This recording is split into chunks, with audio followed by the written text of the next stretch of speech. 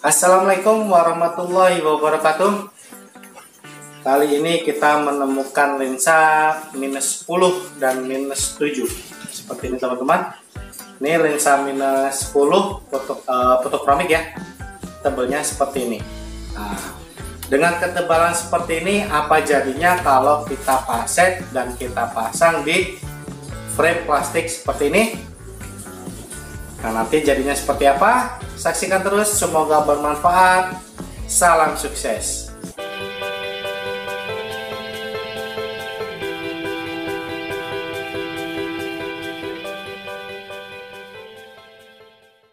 Kali ini kita akan potong lensa fotokromik minus 10 dan minus 7 dengan ketebalan lensa seperti ini teman-teman ya ini ketebalan lensa minus 10 dengan indeks 1,56 ini indeks standar dengan diameter 70 ya.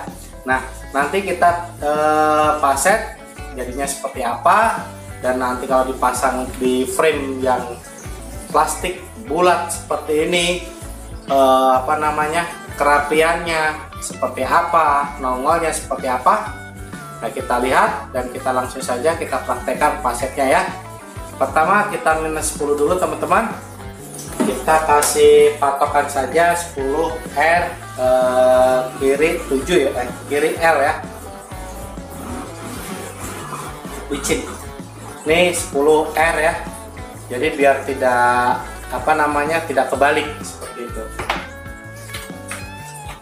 Dan yang kiri ini L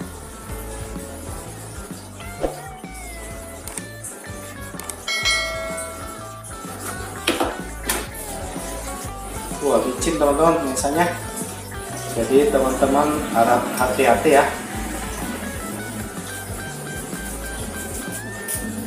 Kalau takut meleset bisa e, dipakein isolasi dulu ya atau lakban biar e, tidak meleset-meleset karena desanya licin. Sebelah kiri tunjuk